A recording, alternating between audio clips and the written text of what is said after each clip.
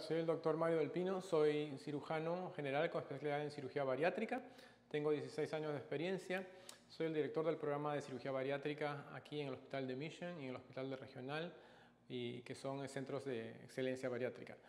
Ahora les voy a explicar nuestro programa de turismo médico. Bueno, este programa es muy popular. Tenemos que gente que viene de todas partes del país, por tierra, por aire, debido a los bajos costos que tenemos aquí en el sur de Texas.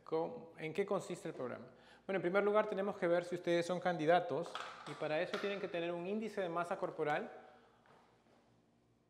de 30 o más. ¿Cómo hacemos eso? ¿Cómo sabemos si tienen eso? Tenemos que, necesitamos su estatura y su peso y con eso se calcula el índice. Bueno, si son candidatos, en Estados Unidos van a necesitar por lo menos cuatro evaluaciones. Si ustedes vienen de fuera, lo más importante es que la primera evaluación sea una evaluación con su médico, allá donde vienen ustedes. Y el doctor tiene que decir que ustedes son candidatos para una cirugía bajo anestesia y que están médicamente aptos para eso. Entonces, eso sería lo, primero. Para eso pueden usar su seguro o no sé lo que les cobre el doctor allá. La siguiente va a ser la evaluación conmigo. O sea, yo voy a revisar esos papeles que me mande su doctor. Voy a revisarlos y ahí seteamos una evaluación por teléfono y nosotros cobramos 250 dólares por esa evaluación. Si todo va bien, ahí decidimos qué cirugía le vamos a hacer y vamos a necesitar una evaluación por un psicólogo. La pueden conseguir por 200 dólares por teléfono, y les puedo dar la información. Y también van a necesitar una dietista. Eh, por lo general eso cuesta 80 dólares. Tenemos gente que lo puede hacer en nuestra oficina o lo pueden hacer por su cuenta también.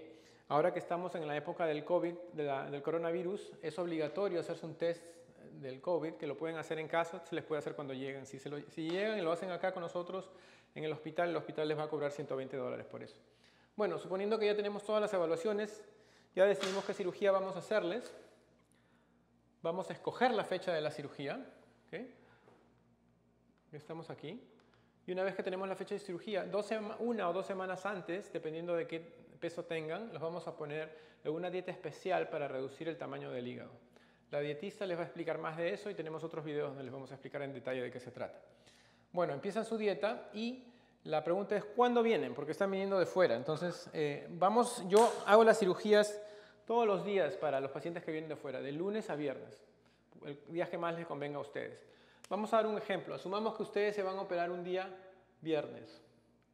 Entonces, eh, tienen que registrarse en el hospital y eso tiene que pasar el día jueves, en la mañana del día jueves. Entonces, si ustedes vienen, por ejemplo, de Texas o si, pueden llegar en la mañana eh, al hospital, pueden hacer el registro un día antes. Pero si vienen de lejos o tienen conexiones que no les permiten llegar temprano para hacer ese registro, podría ser que tengan que salir de casa el día miércoles. Bueno, una vez que se registran, van a tener la cirugía. En este caso estamos asumiendo que es el viernes. Ya les dije que puede ser de lunes a viernes, cualquier día. Nosotros hacemos manga gástrica, bypass gástrico, switch duodenal, hacemos cirugías de revisión en la gente que ya ha tenido cirugía antes, quiere quitarse una banda y hacerse otra cosa, o cambiar una manga por un bypass, lo que fuese.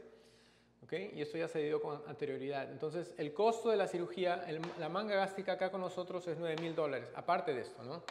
El bypass sale en 11.500, el switch también 11.500 y la cirugía de revisión, dependiendo del caso de ustedes, ya podemos conversar cuánto les va a costar. La mayoría de gente se queda una noche en el hospital y en este caso si entran el día viernes saldrían el día sábado. ¿Cuándo es que regresan a casa? Yo recomiendo que ustedes se queden por lo menos dos noches y si todo va bien el domingo ya se pueden ir. Hay gente que se va por avión, hay gente que se va en carro. Lo único que les digo es que si van a viajar más de dos horas, cada dos horas tiene que levantarse, mover las piernas para disminuir la chance de que vayan a tener un coágulo en una pierna. Entonces, básicamente ese es nuestro programa de turismo médico. Si tienen cualquier pregunta, nos llaman o nos mandan un email o nos pasan una pregunta por el Facebook.